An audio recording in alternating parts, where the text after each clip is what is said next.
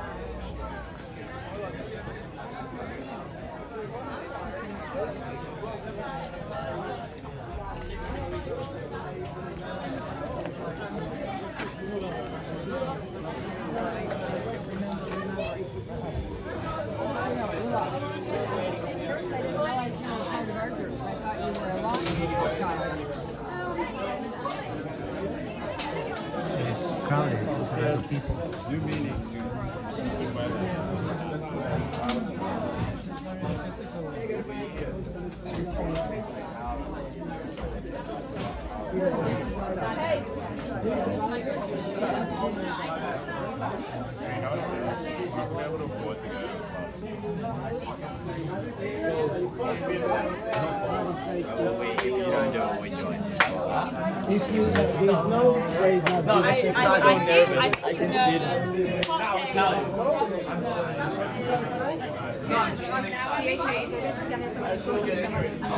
אין בעיה, בסדר.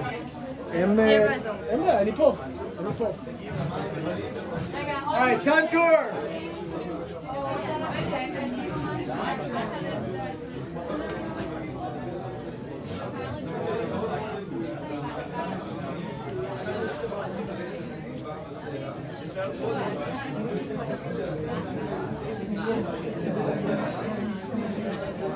We're waiting our turn to, uh, to head in.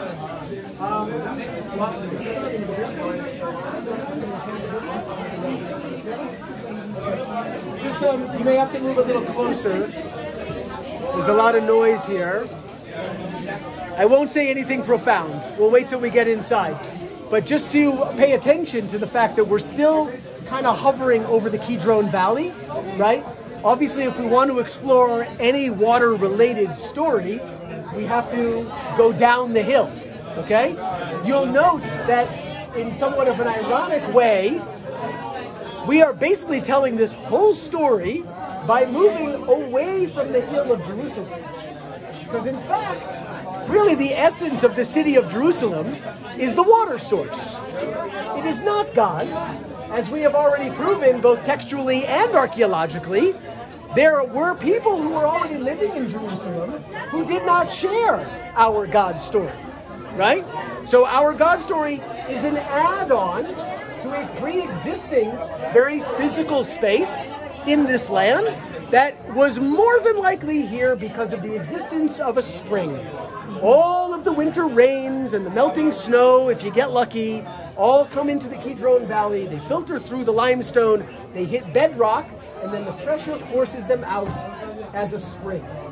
And so, whoever that first person was to be wandering in this valley may have noticed that there's water literally coming out of the rock and thought to themselves, this is where I want to raise my kids, right? And that was probably the beginning of Jerusalem. We don't know when, but it clearly is pre Israelite. As we've seen, the Jebusites were here before the Israelites got here, right? So it may have been a Jebusite who found the spring. The point is, is that once the city becomes the capital of the Israelite Empire, we are then going to see the water play a significant role politically, militarily, and maybe even most importantly, spiritually slash ritually. Right? So we're going to explore all of those as we go down to the water source. Okay, you with me? So we still have more to go down, but we're going to do so in an archaeological way.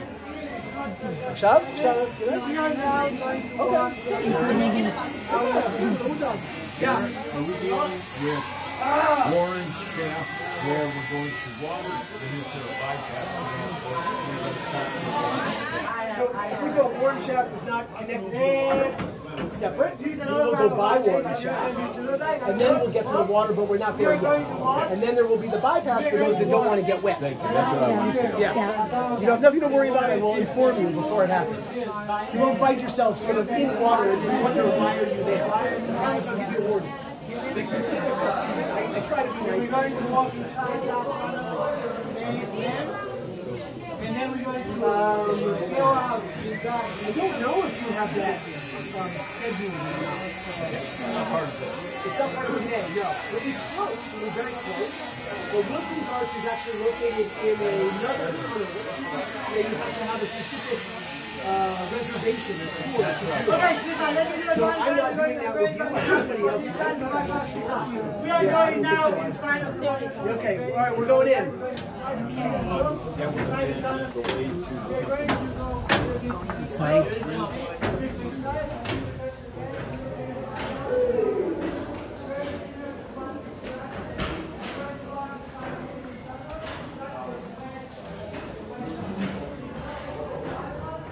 This is the entrance to an ancient water system called the Warren Shaft system, named after Captain Charles Warren, who discovered 1867.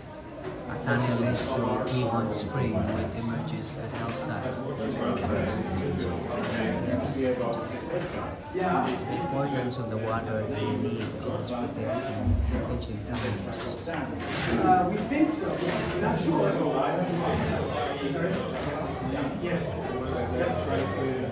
Elias, Father Elias, Yeah, yeah, also Elias, yeah. that's also the tribe of Dan. Yes, same thing, because the Jordan River begins with three springs. One of those springs comes from the city of Dan, right, where the tribe ended up. So we think that the Hebrew may come from those two Hebrew words, Yored, Dan. Dan flows down.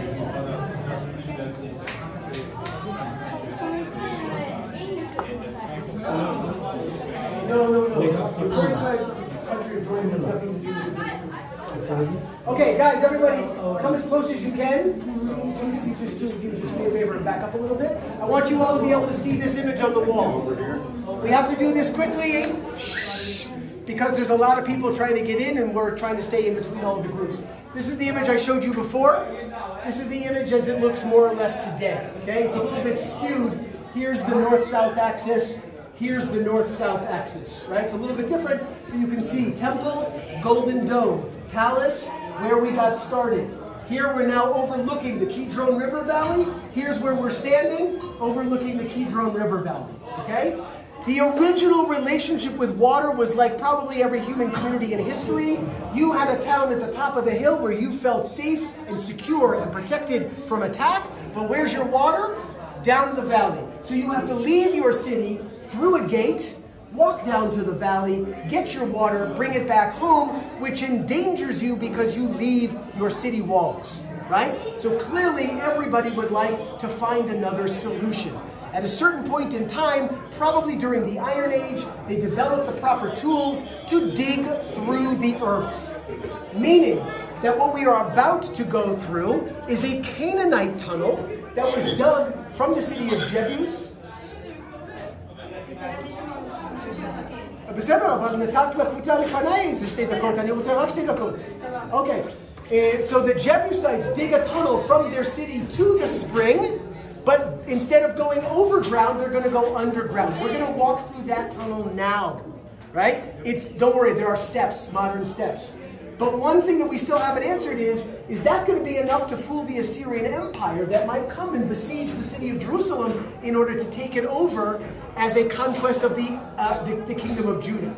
Probably not. So King Hezekiah is going to need to be even more creative than a quote-unquote secret underground tunnel that the Canaanites had dug about four or five hundred years before him. We'll get to that story. For now, we need to move. We're going to go down, not the circular staircase, but the next staircase. You will notice that we have earth above our heads. We are going to be essentially going down the slope into the Kidron Valley, just beneath the surface of the ground. Okay? As we go down, please use the railings because it's a very steep staircase. And maybe let me go first, if you don't mind. Uh-oh. Sorry. I was too fast. Thank you. No, it's fine, it's fine, it's fine.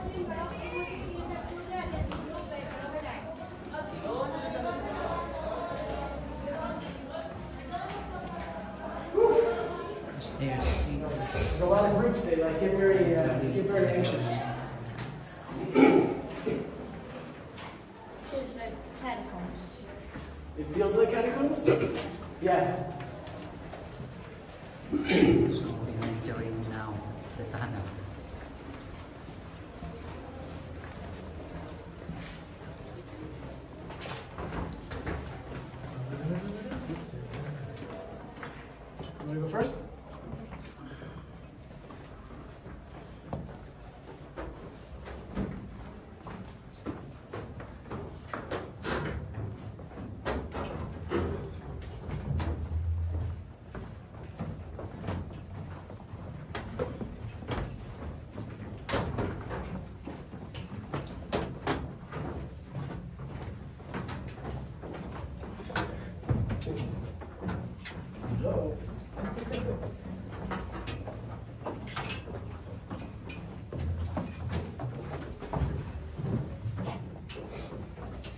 do, do, do. Watch your head.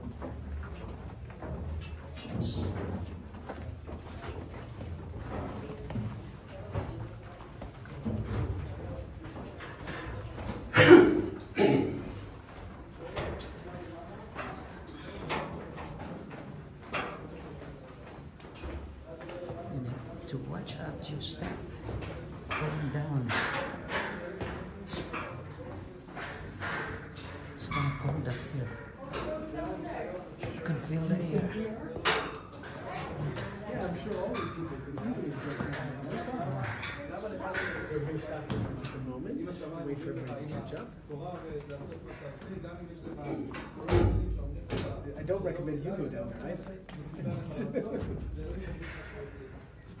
There's a big rock at the bottom that, that may not be so comfortable to land on.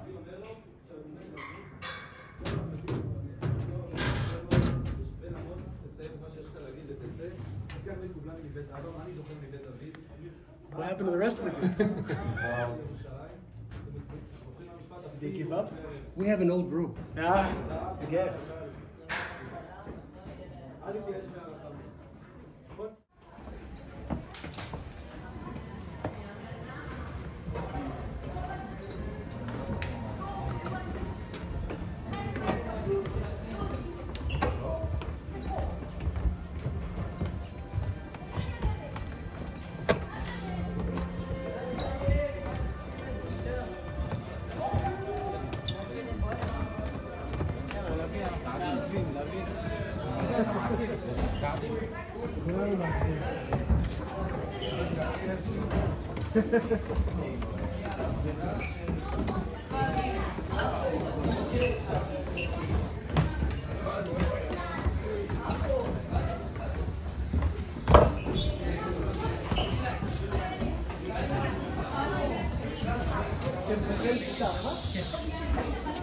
Jangan cabut sering kan?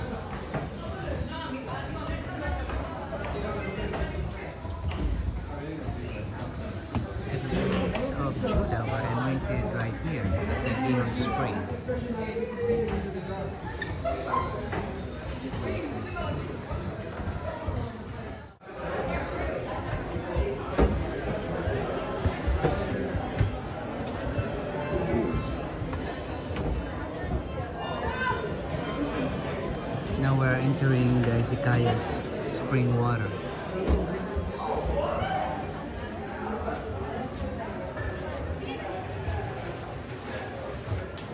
All right, if you're doing the dry tunnel, come stand over here for a minute. If you're doing the wet tunnel, stay on this side.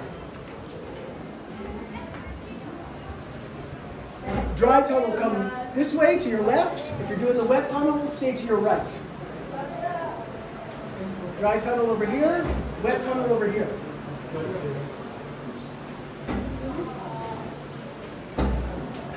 If you're doing the dry tunnel, come over here to your left. If you want to do the wet tunnel, come over here to your right. Quick. Dry tunnel to your left, wet tunnel to your right. Keep coming in, there's more space over here. There you go. Wet tunnel over on your right, dry tunnel over here on the left. Doing wet, go that way. Doing dry, come this way. This is everybody? Okay, everybody be quiet for just a second. Just appreciate that because you're not going to hear much of that. Everybody hear the water? That's the Gihon spring.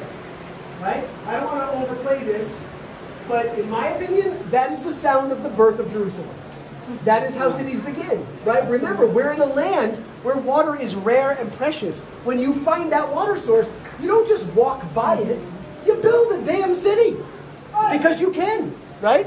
So that is the water that tells the story of Jerusalem from the beginning through our entire biblical narrative and further. We're going to keep reconnecting to the water again and again and again. So folks that are doing the wet tunnel are going to head down, head into that tunnel. Make sure that you don't have any valuables in pockets. Maybe you should put them up a little higher, like in your backpack. If you're wearing any nice fancy watches, turn the watch to the inside of your wrist or take the watch off so it doesn't get scraped on the rock. Otherwise, what's your name? Damien. Damien will be in the front. And who's my back? Chris. Chris Chris will be in the back. We'll see you on the other side. Remember, the tunnel was dug for water, not for humans, so you will have to duck at times. It's not tall enough. Have fun. God bless you all. Right. If you're lucky, we'll see you on the other side. Down we go to the riverside. Right. The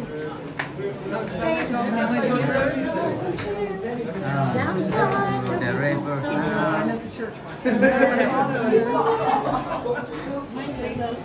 Okay, Somebody has to. What's your step? All right. Everybody else, you're coming with me. We are going to walk through what used to be the wet tunnel, but then because of Hezekiah, the water got diverted and now it's a dry tunnel. So follow me. We'll follow you. Thank you, Chris. Good luck. You're perception. All right, we are heading this way.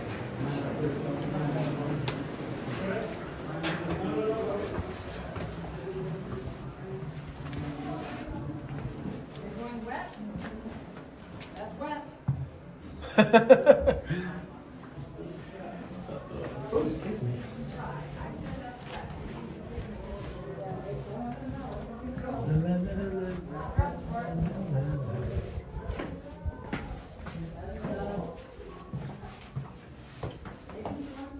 So amazing how they designed this, huh? Wet and then dry here. Well, they didn't design it wet and dry. Like I said, this used to be wet. This was a Ah, water tunnel, right, that the Canaanites used before Hezekiah dug his tunnel. Ah. And then when Hezekiah dug that one, all the water got pushed that way, and this became a dry tunnel. I see. Because Hezekiah didn't need this. Ah, He needed to go get the water to the other side. I see.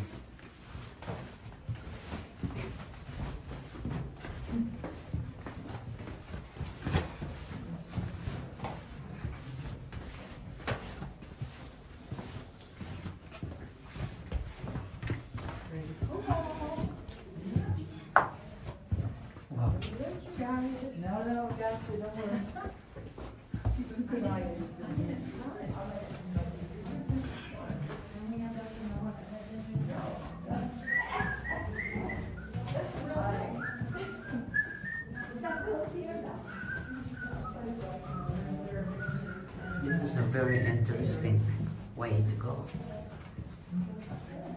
But thank you for journeying with me.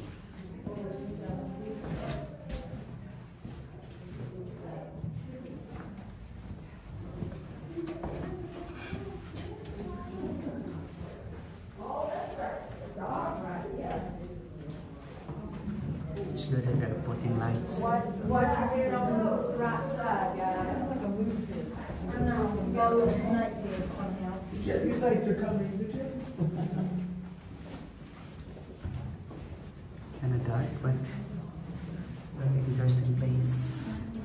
Don't anybody jump out and say boo. I was thinking about the poison.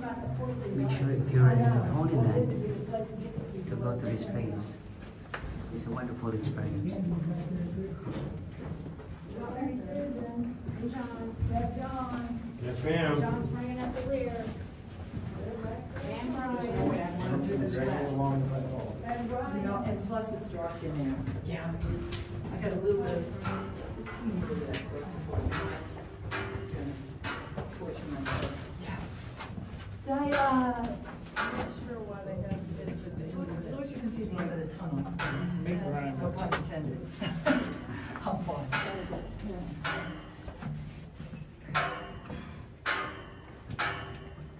They need some oil. Watch out, you gotta step up. Little bit of oil here. Move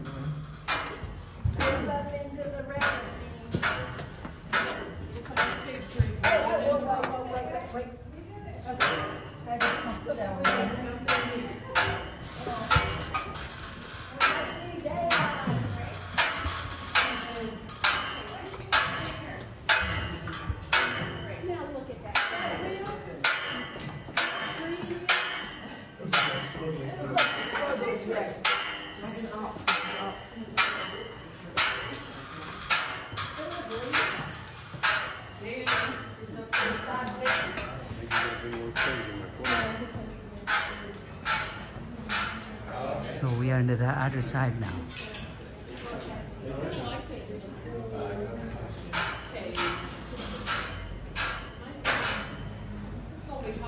We survived.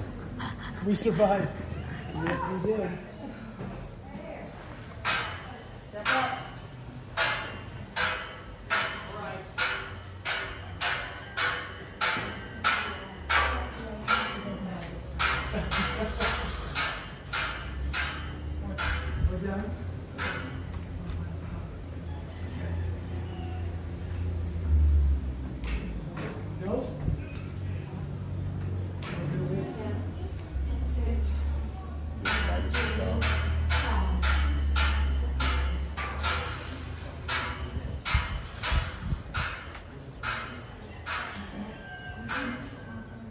You? You're looking at it. This is it.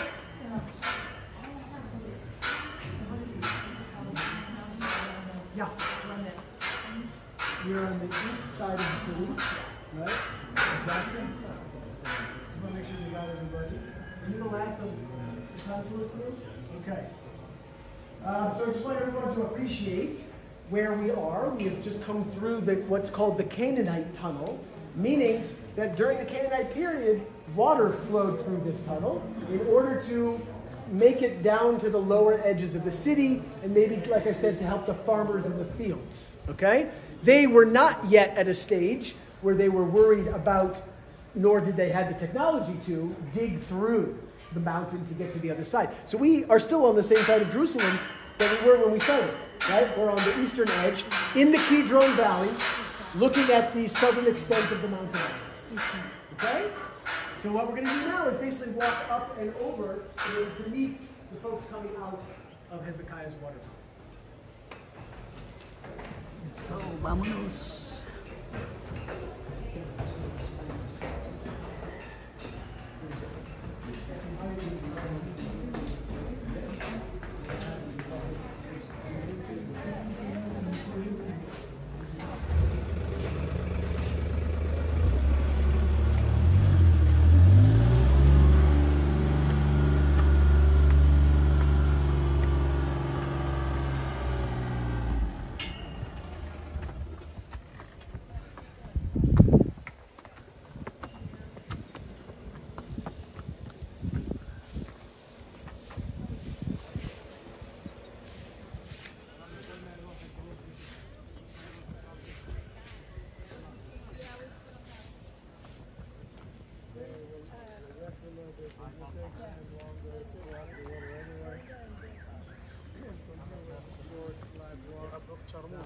It's an old olive tree. It's a very old olive tree. Wow, tree. can tell. Very, very old. Ah, it's an old olive tree up here. Together with the form next to Pam. Susan? Where's our people? Yeah, we just finished our tour from the tunnel. It was dark, but there are some lights on the ceiling too that can help. And I'm in the front of the olive tree. It's an old olive tree. So thank you for joining me in my journey to the Hezekiah's tunnel. Blessings to all of you and have a wonderful day. And see you in the next video. God bless. Bye.